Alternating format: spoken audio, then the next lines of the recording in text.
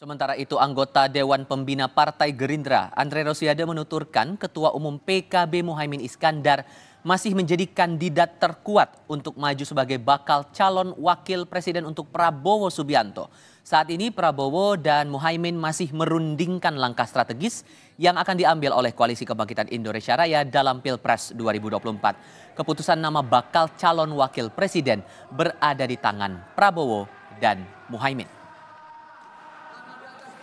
itu kewenangan Pak Prabowo ya dengan Gus Muhaimin yang menentukan. Jadi uh, kami uh, kader seluruh kader Partai Gerindra kan sudah memberikan mandat penuh kepada Pak Prabowo uh, untuk menentukan hal itu dan PKB pun juga sudah memberikan mandat penuh kepada Gus Muhaimin sehingga dalam piagam kerjasama yang ditandatangani 13 Agustus 2022 yang lalu uh, capres dan cawapres ya koalisi kebangkitan Indonesia Raya ini akan diputuskan bersama-sama oleh Pak Prabowo dan Gus Muhaimin.